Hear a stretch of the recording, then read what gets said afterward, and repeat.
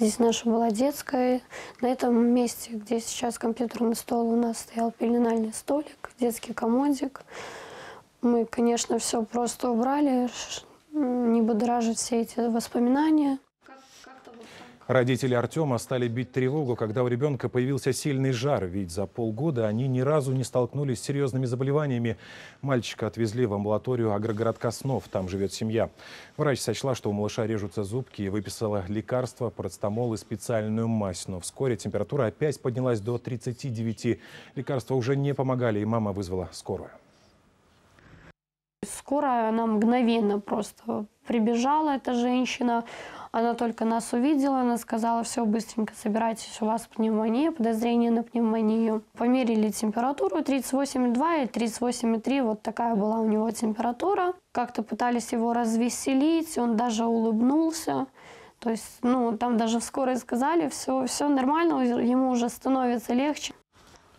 По словам Елены Грицкевич, фельдшер сделала укол от температуры. Артема увезли сначала в Несвиш, а затем около полуночи в Солигорск, где есть узкоспециализированная детская реанимация. Но по пути ребенок умер. По словам родителей, в заключении написано «врожденная инфекционная или паразитарная болезнь неуточненная». Сейчас в Несвиже работает специальная комиссия Минздрава. На сегодня работает комиссия Минздрава. Мы изучаем все этапы оказания помощи ребенку. Именно на всех этапах, начиная с амбулаторного звена, э, ЦРБ Нисверская, Солигорская ЦРБ, которая выезжала к данному ребенку.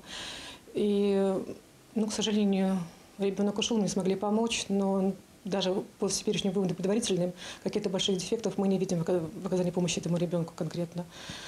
Семье, конечно, будет оказана помощь психологическая по возможности, если готовы к этому вот родители. К выяснению всех обстоятельств подключились исследователи. По э, гибели шестимесячного ребенка э, в настоящее время э, следственным подразделением территориальным проводятся проверочные мероприятия, э, собирается э, необходимая информация, изучается документация, и по итогам каких-либо процессуальных решений мы дополнительно э, общественность э, известим.